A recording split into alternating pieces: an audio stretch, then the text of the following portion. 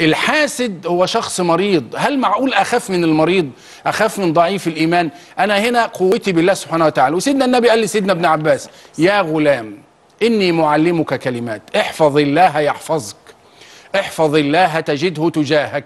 إذا سألت فاسأل الله. وإذا استعنت فاستعن بالله. واعلم أن الأمة لو اجتمعت على أن ينفعوك بشيء لم ينفعوك إلا بشيء قد كتبه الله لك.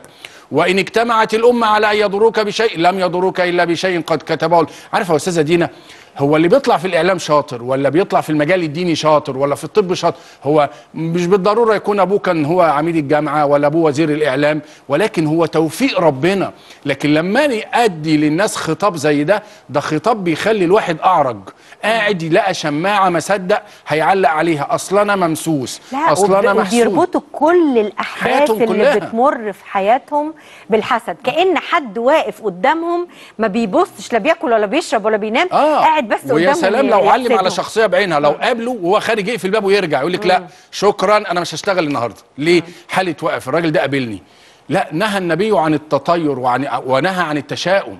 يعني فكرة التشاؤم ده من ضعف الإيمان بالله سبحانه وتعالى. فعلينا إن إحنا ده شوفي ربنا يقول لك إيه؟ يريد الله بكم اليسر ولا يريد بكم العسر. سيدنا النبي يقول إيه بشروا ولا تنفروا.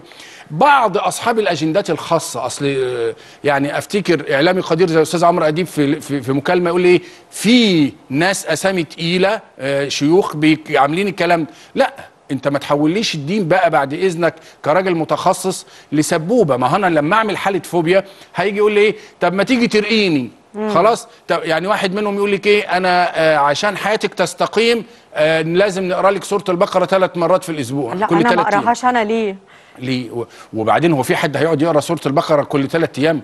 هو هو ده شكل التدين يعني؟ يا أخي آه، واحد دخل على حضرة النبي صلى الله عليه وسلم وقال له. قل لي في الإسلام قولا لا أسأل عنه أحدا بعدك. قال له قل آمنت بالله ثم استقم.